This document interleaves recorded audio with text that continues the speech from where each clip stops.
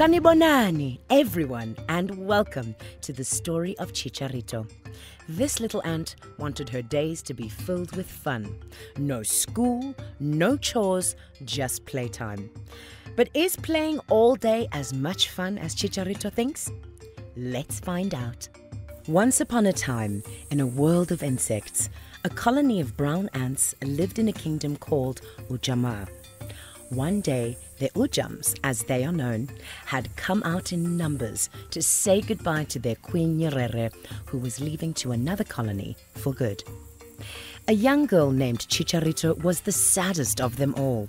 This was her favorite queen, and she would miss her terribly. But life carried on. All the Ujams had swiftly moved on, back to their workstations. The chime of the worker ants filled the chamber walls of Ujamaa.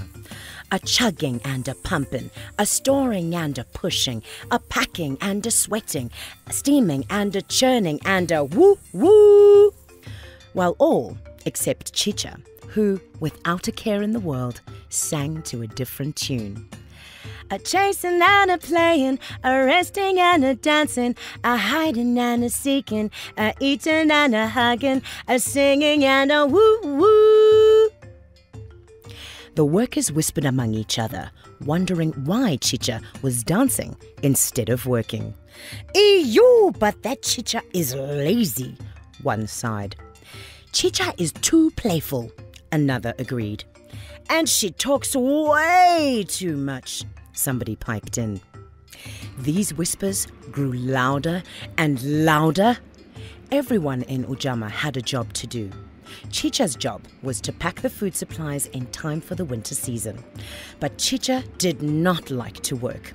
At least all the time. The packing was too much. It never stopped. Winter took way too long, so there was hardly any time to play. With no sunshine, she forgot her songs, and her heart grew cold and sad. The next winter, Chicha decided to escape her life in Ujamaa. Early one morning, she hiked to the edge of the colony, hiding and a peeping and a crawling along the way. A giant green insect joined Chicha, humming her tune, and a and a and a woo woo.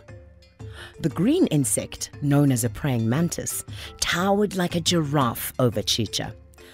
I like your song, little girl, the praying mantis said. What's your name? My name is Chicha, she replied, still singing and smiling. It means to burn brightly. Oh, my name sounds almost like yours. You can call me Chamacha. It means to burn. And, um, uh, where are you going, Chicha? Chamacha continued. To play, Chicha said excitedly. Oh, let me take you to a place where the grass is green all year. A place like in your dreams, the one that's in your head all day. But, but only if you borrow the biggest bucket of food from the Ujamaa storehouse for me. Chamacha whooshed away with the winds, with Chicha flying across the bluest sky with the biggest bucket of food she could find in Ujamaa. A new world opened before Chicha's eyes. Zomba, the city of lights, dazzling below. No chugging and a churning like in Ujamaa, only dancing and a laughing and a woo woo.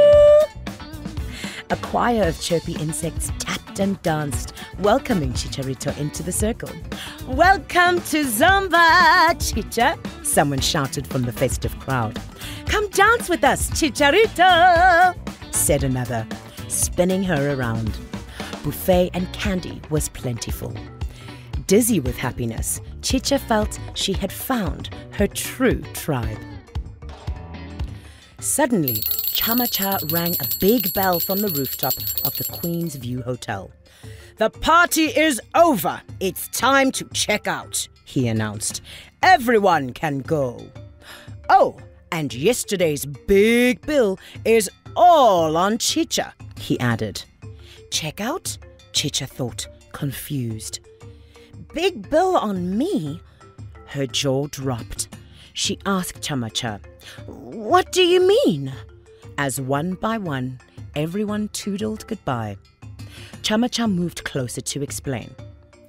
To stay in Zomba, you pay for everyone to come to your welcome party. What? Chicha exclaimed in shock. I pay? Oh, my little darling, sneered Chamacha. Did you really think that all the playing and hugging was for free? Chicha, Chicha, my child, there's no such thing as free lunch. You pay.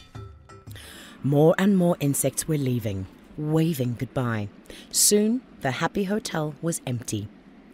The winter cold that Chicha thought she had escaped in Ujamaa suddenly covered her like a wet blanket. She had thought these bugs would be her friends forever.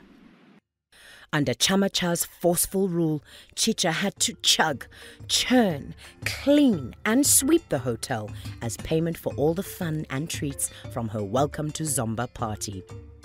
But Chicha did not like the work at the hotel at all.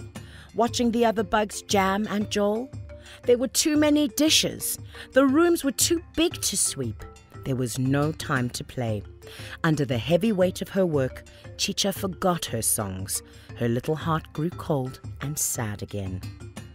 In the chugging and churning, Chicha missed home. She remembered Queen Nyerere's words. In Ujamaa, we all sink or swim, side by side, hand in hand. We always stand together.